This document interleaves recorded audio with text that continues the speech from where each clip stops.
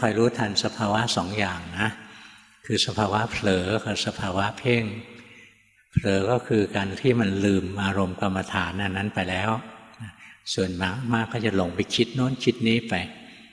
กับสภาวะที่เพ่งก็คือจิตมันจมลงไปในอารมณ์กรรมฐานนั้น เป็นนิ่งๆซื่อบื้ออยู่อย่างนั้น ให้คอยรู้ทันสภาวะหลงตัวนี้แหละ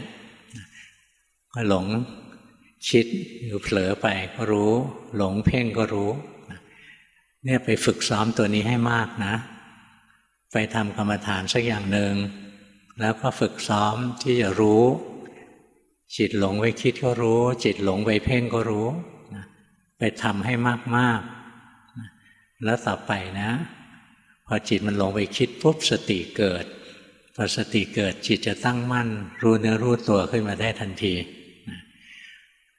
เราดูร่างกายอยู่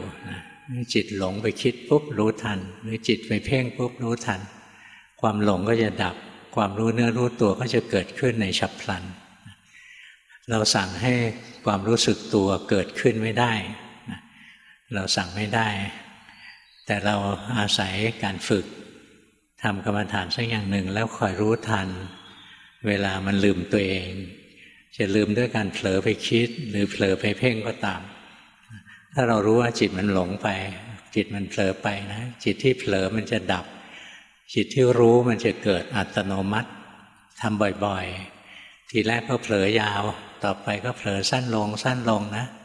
จิตมันจำสภาวะความเผลอได้แม่น อ๋อเผลอคิดไปอย่างนี้ เผลอเพ่งมันเป็นอย่างนี้นะพอมันจำสภาวะได้แม่นนะต่อไปพอสภาวะอันนั้นเกิดขึ้น เช่นความหลงคิดเกิดขึ้น ความหลงเพ่งเกิดขึ้น สติจะเกิดขึ้นเองโดยอัตโนมัติ